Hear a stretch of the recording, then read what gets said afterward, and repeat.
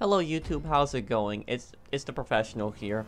So today I want to talk about a subject I have I have talked about for a very long time on my streams and I've been asked about it a lot. But I haven't really ever made a video about it. So here it goes. This is my opinion, but I'm going to give you guys good reasons for why I believe what I believe. And I'm going to tell you straight up, grinding is better than glitching, modding, and buying shark cards. And if you guys watch my live streams a lot, you guys know I'm extremely against modding, I'm extremely against glitching, and I'm extremely against shark cards. And I'm going to explain to you guys why, and why grinding is the best one. So let's let's break it down one by one, and let's start off with shark cards. Okay, so here now when we're talking about shark cards, I thought that I would use GTA Wiki as a source here because GTA Wiki has a nice chart of all the shark cards and their prices and how they differentiate from each other. And in this video here, I'm going to be comparing it to American dollars here because I am an American, so it's a lot easier for me just to compare it in US dollars. But it's also in different, it shows in different currencies what it's equivalent to down here. But for this, we're going to be looking at American dollars. So look, you have a red shark card for $100,000 and they want 299 for it. So they want 299 for a $100,000 shark card. I could make that I can make that $100,000.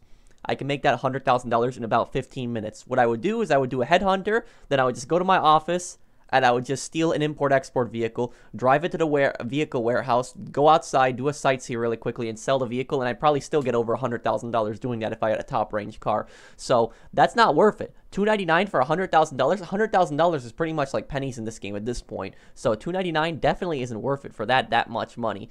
And $200,000, 499 still not worth it. Definitely not worth it. 499 for $200,000. See, it's turning into a giant ripoff. Five hundred thousand dollars, ten dollars, still not worth it. That's a giant. That's that's a giant ripoff. Five hundred thousand dollars is what you can make.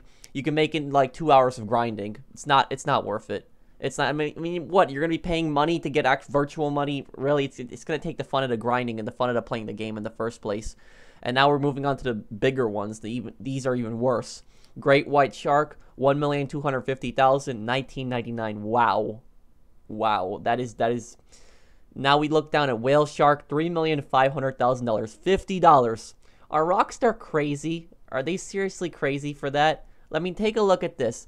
One million two hundred fifty thousand. They want twenty dollars for that. Twenty dollars for that. One million two hundred fifty thousand. This isn't even. This isn't even enough for you to buy a supercar. It's not even enough to buy a supercar, and you still have to upgrade. It's not even the regular amount for a supercar. This $20 think about it this way $20 for one car. Think about it that way in equivalent to gta currency. Whale shark 3500000 i can make this in a day. Usually i make between 3 million and 4 million dollars a day. So i'm basically i'm making an equivalent of $50 every day. $50 of every every day. And $3,500,000 how much is that going to last you for? What that's going to buy you a supercar? And then what you're going to upgrade it and then you're pretty much going to be out most of that money. You buy an expensive supercar, you buy an expensive supercar for like two and a half million dollars, then you probably put another million dollars into customizing it. So you're going to be spending fifty dollars on one car. That's ridiculous. And now Megalodon Shark Card, eight million dollars.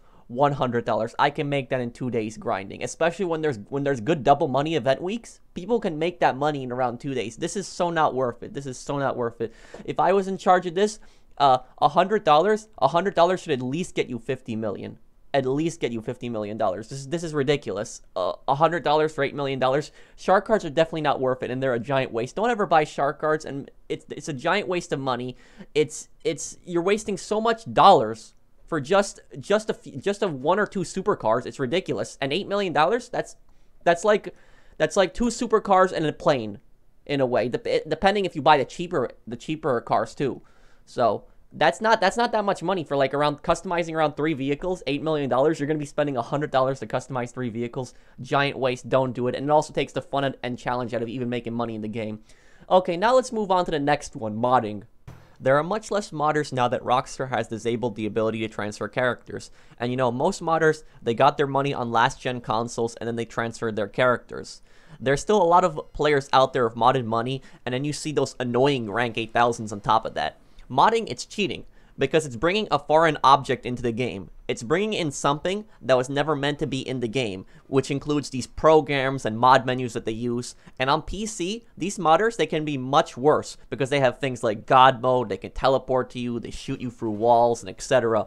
Modding hurts legitimate players because they have no real way to counter or compete against them. Not only this, but it's also taking the fun out of the game. You know, what's the point of even playing missions, jobs, activities if you have everything on day one? I'll tell you, there is no point. It completely kills the point of the game.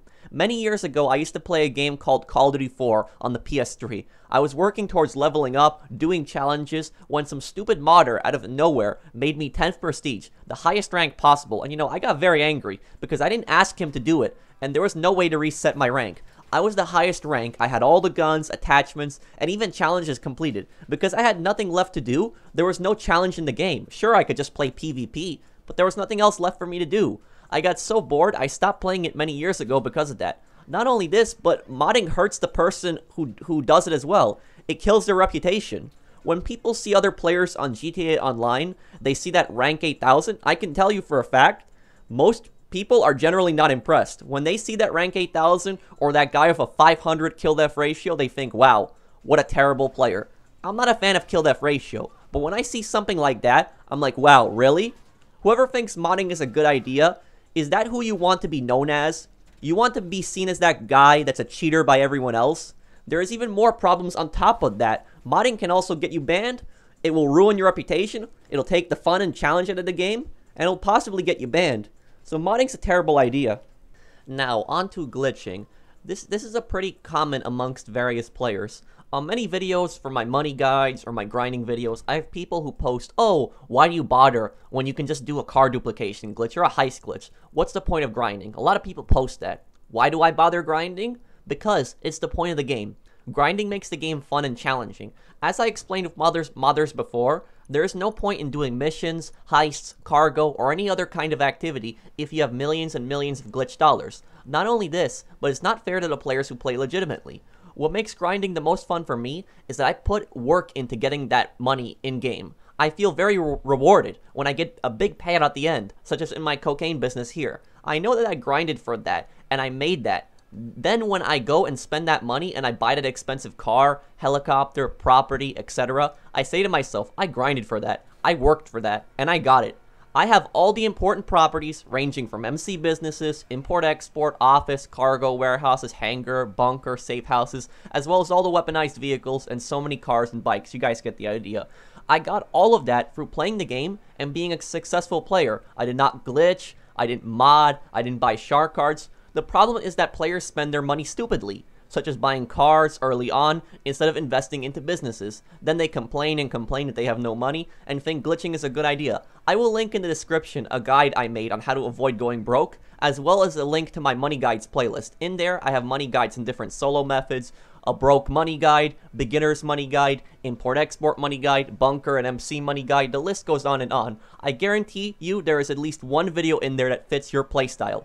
What I love about grinding is trying to figure out all these different strategies on how to make that money quickly. I love combining different businesses, jobs, to see what is the max money I can get per hour from them. I agree that there are definitely certain jobs in this game, don't get me wrong, there are certain jobs in this game that should pay better, such as the original heists, the races, and the adversary modes. However, there is plenty of ways to make money in this game. Import-export for one is one of the easiest ways to make money, even for a solo player. There are so many opportunities to make money in this game, and you, you don't need to glitch, mod, or purchase shark cards to make it. Look at me. I have $194 million. Some people are going to tell me either I have no life, or I have a huge crew helping me out, and that's why I have so much money. Well, I go to college, I work a job, and I play this game only three days a week. I don't know how that constitutes having no life. And as for my crew, I made over $100 million years before my channel even got popular. I made plenty of money all the time on this game. Anyone that tells you that you need to glitch, mod, or buy shark cards to be successful is either lying to you or very ignorant. My channel is proof that you don't need to do those things to make money. If I see a player that knows how to utilize their money and time to make more money, I consider that person much better than someone who has an extremely high kill death ratio. Most of these tryhards who refer them to themselves as PvP gods use glitches and mods to get their money in the first place. That's how they managed to orbital cannon you so much, that or glitching the cannon out. If they actually had to make money in one day legitimately, they wouldn't know what they are doing, and they would go broke so quickly. And that is why grinders are the best forms of players. They appreciate the hard work they put into the game, as well as other players, and don't go out destroying cargo, because they know how much effort you need to put into those businesses.